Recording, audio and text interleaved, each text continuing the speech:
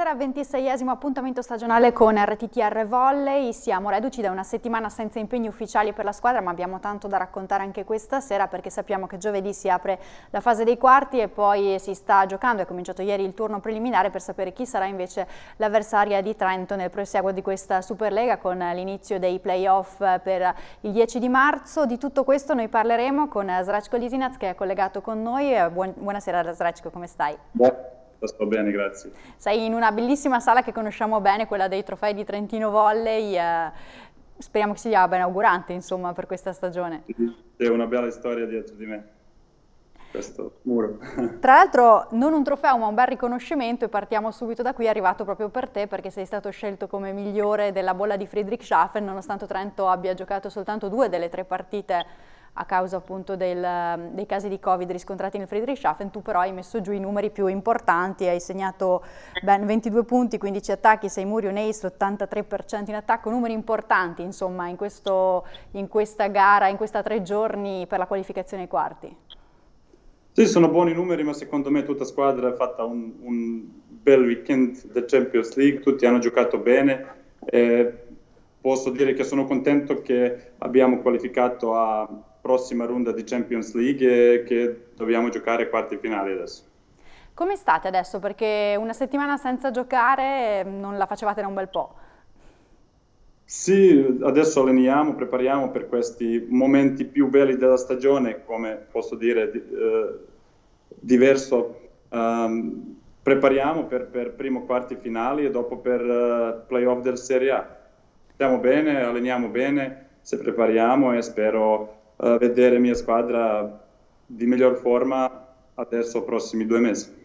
E sicuramente la squadra era in forma negli ultimi appuntamenti ufficiali perché sono uscite anche un po' di statistiche. Allora andiamo a vedere il primo servizio di questa sera che ci racconta quelli che sono stati i numeri di Trento in questa fase, la main phase di Champions League divisa, lo sappiamo, su questi, eh, su questi due concentramenti, prima Trento e poi Friedrichshafen. Sentiamo.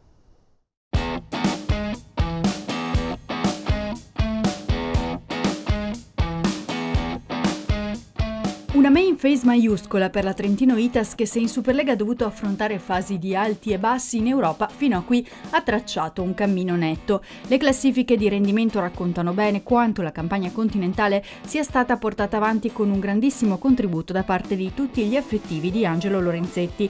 Pur avendo giocato solo 5 partite, infatti, visto che la sesta è stata data vinta a tavolino e non contribuisce quindi a migliorare le statistiche, la formazione giallo-blu è risultata come la più efficace in imbattuta fra tutti e cinque gironi giocati, grazie a 42 ace in 19 set con la media di 2,21 per parziale, terza assoluta per muri realizzati. In tutto ne ha segnati 53, solo lo Scrabble Katov 56 ma con una gara in più giocata e il Carlo Vasco 56 con due set in più giocati hanno saputo fare meglio nel singolo fondamentale. A questi ottimi risultati hanno contribuito in maniera importante in particolar modo Nimir Abdelaziz e Zrečko Lisinac. L'opposto olandese di gran lunga il battitore più prolifico di tutta la main phase, grazie a 18 ace personali, poco meno di uno ogni set in media, con un margine di 7 punti sui primi inseguitori, Ferranneman e Bienek a quota 11, mentre il centrale serbo è il secondo blocker con 17 muri vincenti, solo uno in meno del leader Lizik del Novosibirsk.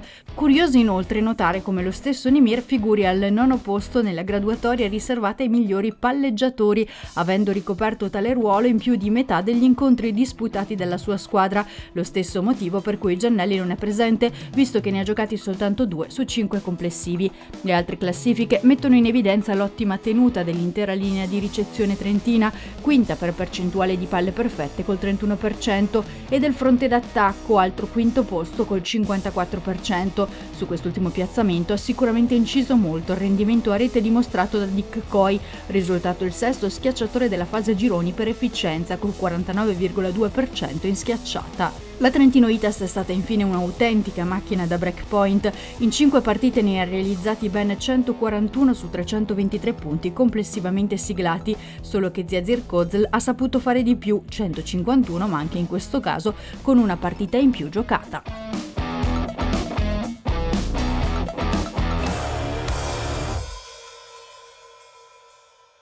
Questo quanto successo appunto nei mesi scorsi, nelle settimane scorse, ora Trento guarda avanti, dicevamo ancora Champions League perché si sta eh, lavorando per preparare i quarti. Srecko, raccontaci un po' come sarà la vostra settimana, voi già domani partite per Berlino. Sì, domani partiamo per Berlino, ce l'abbiamo due voli uh, a lì. Uh, fa, I nostri giorni sono classici quando non ci sono partite, si allena uh, un po' più forza sala pesi, si allena un po' più tecnica uh, per elementi parziali, come posso dire in italiano, non so se capisce, uh, ma si lavora un po' più diverso rispetto a stagioni quando si giocano molte partite consecutive. Uh, è buono che adesso avevamo questo tempo per prepararsi e secondo me facciamo, li facciamo bene e spero che questo si veda a prossime partite. Il fattore campo potrebbe aiutarvi perché si gioca l'andata lì a Berlino, poi il ritorno potete giocarvelo in casa, in caso di parità c'è anche la possibilità di, di, un golden set che si gioca alla BLM Group Arena, insomma questa formula ve la siete guadagnata vincendo il girone, ecco. Sì, questo era importante per noi per finire come uh, prime quattro squadre che possiamo uh, giocare a rimercia nostra, nostro palazzetto. E uh, come, come dire uh, giocare contro una squadra che non è di prime, che non è più forte. Certo, non è una testa di serie. Sì. Uh, abbiamo fatto questa nostra idea, il nostro plan per Champions League e siamo una strada giusta secondo me. Il Berlino che squadra è? Cosa, cosa, vi aspettate? Il mister lo sentiremo, ha detto che comunque è imprevedibile come formazione, quindi è difficile da preparare. È difficile da preparare per adesso perché loro hanno uh, molti giocatori che non hanno giocato partite, uh, hanno secondo me 15 giocatori, hanno un roster molto lungo uh, e giocano bene, sono a, sempre a prime due squadre a Germania, io giocavo lì anni 2013-2014, lo so che sono ben organizzati e che sempre no, Abbiamo perso la connessione con Srečko mentre noi la ripristiniamo, allora andiamo subito a vedere il prossimo servizio che ci racconta quello che succede, come funzionerà insomma questa, questa fase dei quarti che è la prima d'eliminazione diretta per quanto riguarda la Champions League. Sentiamo. Dopo un'insolita settimana senza alcun impegno ufficiale, questa vedrà nuovamente la formazione allenata da Angelo Lorenzetti impegnata sul campo europeo. Giovedì 25 febbraio a Berlino è infatti in programma la gara di andata dei quarti di Champions League, ritorno sette giorni dopo, il 4 marzo, alla BLM Group Arena. Alla Max Schmellingalle di Berlino si gioca alle 19.30 la prima delle due partite che valgono l'accesso alla semifinale. Trento si è conquistata il posto in palio quale prima della Pool E, mentre il Recycling Volleys ha chiuso tra le migliori seconde della Pool C, vinta dal Kazan. Questo il programma completo delle partite di andata dei quarti di Champions League. Si comincia martedì 23 febbraio al Palapanini con l'attesissimo derby italiano fra i padroni di casa di Modena e gli umbri della Sira Safety Conad Perugia. Mercoledì 24 febbraio alle 18 in campo l'altra formazione italiana. La Lube gioca in casa contro i polacchi del Keziezin Kozl. Lo stesso giorno alle 20.30 è la volta della sfida di Belchatov tra lo Skra e lo Zenit.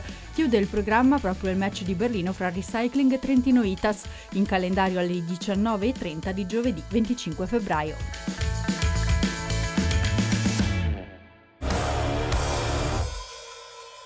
Questo dunque il programma per Trento a Berlino, siamo tornati in collegamento con Srečko, eccoci qui, a volte la tecnologia non aiuta, ma eh, dicevamo appunto della preparazione di questa partita, come affronterete, come state preparando questo match? Sì, per adesso non sappiamo molto da questa squadra, come ho detto hanno 15 giocatori che non hanno giocato tutti di questi ultimi mesi, alcuni erano infortunati, uh, ma è una squadra ben organizzata, sanno giocare, sono sempre sempre giocano per vincere scudetto a Germania, sono sempre a top uh, 8 squadre dell'Europa di Champions League. Non sarebbe facile, ma noi dobbiamo credere alla nostra forza e giocare al nostro migliore. Anche perché comunque entriamo in quella fase diciamo calda della Champions League dove tutte le avversarie sono formazioni temibili, sappiamo che c'erano anche tre italiane, bene che non le si affronti almeno in questa fase, giusto? Sì, siamo contenti che, che per adesso siamo uh, una strada un po' uh, posso dire più facile dell'Ube Perugia e, e Modena, ma anche dobbiamo giocare il nostro miglior gioco per vincere. E allora sentiamo in merito anche alla Champions League cosa ci ha detto mister Angelo Lorenzetti e poi torniamo in compagnia di Lisinaz. Solitamente queste pause, Angelo, ci sono due correnti di pensiero, chi le ritiene molto utili e chi invece le ritiene dannose proprio poco prima dei playoff. La tua, la tua opinione qual è? Secondo me eh, in questa situazione abbiamo trovato un buon equilibrio e, e quindi eh, sono contento e soddisfatto del lavoro svolto fin qua. L'altro giorno è il quarto allenamento che abbiamo fatto proprio con eh, la rosa completa, eh, però insomma questo è un qualcosa che riguarda spesso tante, tante squadre e ovviamente abbiamo la speranza di poter terminare la stagione eh, tutti insieme per cercare di di ottenere il massimo del risultato. Le ultime partite, dopo le ultime partite avevi parlato spesso e volentieri di dover migliorare la fase di break, è proprio su questa fase che si è concentrato il lavoro di questo periodo? Un po', eh, soprattutto per quel che riguarda il discorso della difesa dove eh, si evidenzia della distanza rispetto ad altre squadre, eh, cosa che invece non si vede eh, così marcata in altre, in altre parti del gioco e i ragazzi ci hanno dato dentro, speriamo insomma, di poterlo poi dopo eh, trasformare in positività, in cose eh, positive appunto in campo. Ultima domanda relativa ai quarto di finale con Berlino, si gioca giovedì, che squadra è questo Berlin Recycling Molly? Ma innanzitutto perché sappiamo che Conta è una squadra storica del, della Champions League che ogni tanto ha riservato anche de, de, delle, eh, delle belle sorprese per loro. E è una squadra composta da tanti giocatori esperti, e questo fa sì che eh, avendo una grande rotazione all'interno del sestetto insomma, non sapremo bene con che eh, formazione scenderanno e quindi eh, è importante che noi avremo ben eh, chiari i concetti del nostro gioco per poi dopo modularli in base alla formazione che scenderà in campo.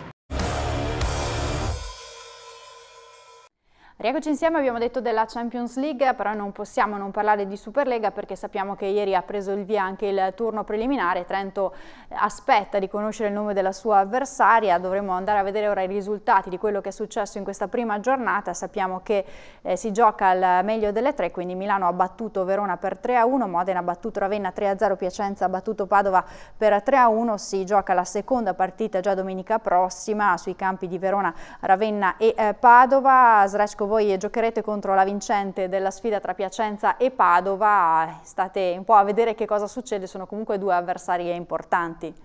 Sì, abbiamo guardato partita un po' dopo allenamento, uh, ma secondo me uh, anche Padova che giocava senza due titolari giocava molto bene, eh, secondo me non è finita questa... Uh, questa partita di loro due, di Padova e Piacenza, è, uh, sarebbe anche difficile per Piacenza vincere, ma, ma, per noi adesso non è importante chi passa, per noi è importante allenare bene e dopo chi arriva uh, noi siamo pronti per tutte e due le squadre. Sì, anche perché diciamo che i risultati hanno premiato un po' il fattore campo e anche l'ordine di classifica, però questa Superlega ci ha dimostrato anche con quello che avete fatto un po' voi, insomma, che non, non è mai detto, ogni singola partita fa storia a sé. È vero, è vero, campionato lungo, campionato difficile, uh, abbiamo visto molte squadre che forse con nomi non erano migliori, ma hanno giocato molto molto bene quest'anno si deve giocare molto bene contro tutti per vincere.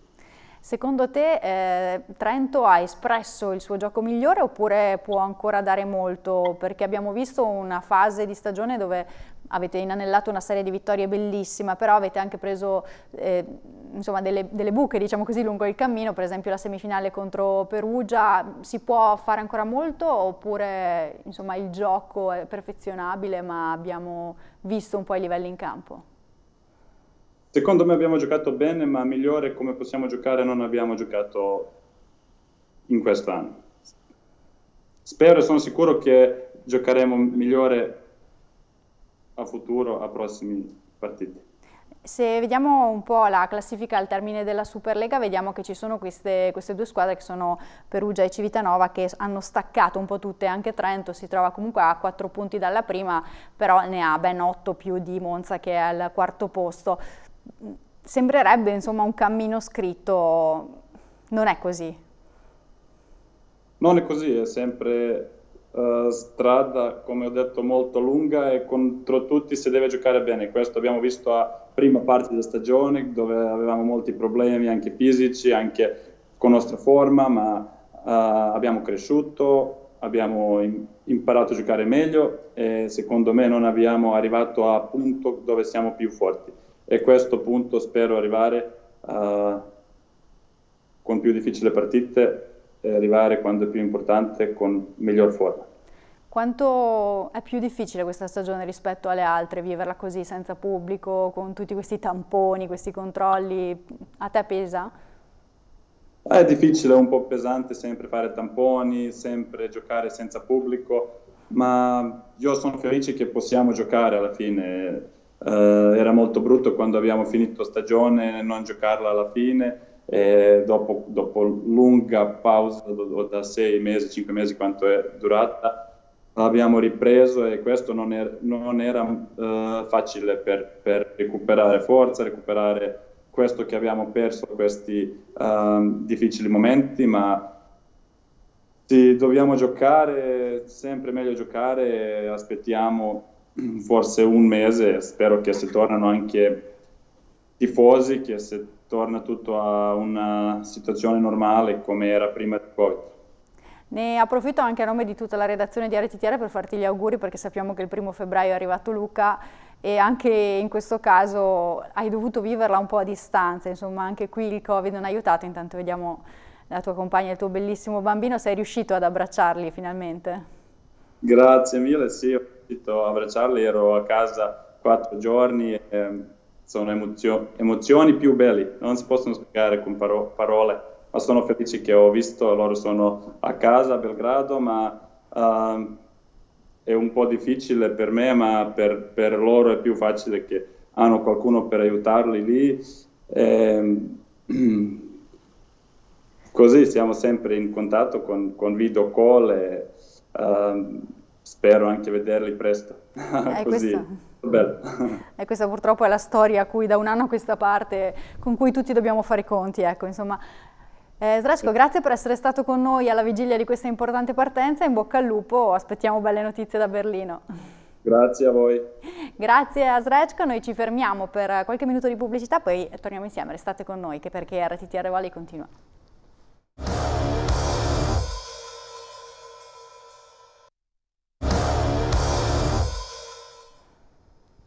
Rieccoci insieme, abbiamo salutato Srečko Lisinaz, ma continuiamo perché abbiamo eh, avuto il piacere di rivedere un volto che negli ultimi anni ha fatto un po' parte della storia di Trento. Sappiamo che eh, sabato a Trento si è svolta una partita di serie A3 con l'Uni Trento Volley che ha giocato contro un'altra formazione di A3, la Tinet Prana di Pordenone, che da poco ha un nuovo allenatore che qui conosciamo bene perché è stato l'assistant coach di mister Lorenzetti e eh, proprio qui a Trento ha cominciato la sua carriera di allenatore allora andiamo a sentire cosa ha detto al microfono di Francesco Segala Dante Buoninfante. Fortunatamente è partita la mia avventura da, da primo allenatore, uh, passando per Trento come prima trasferta, sì, non sarà un caso. Uh, in un posto dove sono tanti amici, sono legato tantissimo, ho imparato tanto e quindi sono contento di essere passato e aver visto tanta bella gente. Da assistant coach di Angelo Lorenzetti, stai già utilizzando gli insegnamenti o le cose che hai preso da Angelo eh, per la tua prima esperienza come tecnico? Bah, eh, ci provo. Oh, I risultati dicono di no per ora, quindi spero di non fargli fare brutta figura e continuiamo a lavorare e sicuro l'impostazione è quella sua. Immagino che tu stia seguendo comunque il campionato dell'Itas Trentino, che impressione hai avuto fino ad ora della stagione, di, di quella che è stata la tua squadra per tre stagioni? Bah, sono stati molto bravi a invertire una tendenza negativa iniziale un po' per ambientamento, Covid, tutte le, le questioni che, che, riguardano sempre una squadra a inizio stagione. Sono stati molto molto bravi e adesso secondo me hanno dimostrato di poter combattere con tutti fino, fino alla fine. Ecco, ultima cosa, eh, in tempi di Covid nella scorsa stagione un anno fa non avevi avuto modo di salutare i tifosi perché purtroppo non c'era stata l'opportunità, in questo caso ti offriamo il microfono proprio per farla. Oh, ma certamente un saluto a tutta la curva, a tutti i tifosi di Trento e un grande in bocca al lupo e ci vediamo presto. Siamo al termine di questa nostra puntata di RTTR Volley, come sapete non ci sono match freschi da proporvi per rivederli insieme, allora ne abbiamo scelto uno di quelli che più ci ha appassionato in questa prima fase della stagione giallo-blu, siamo andati a ripescare l'impegno di Superlega con la vittoria di Trento sulla Lube Civitanova alla BLM Group Arena. Grazie per essere stati con noi, noi ci rivediamo lunedì prossimo alle 21 sempre qui su RTTR, buona serata.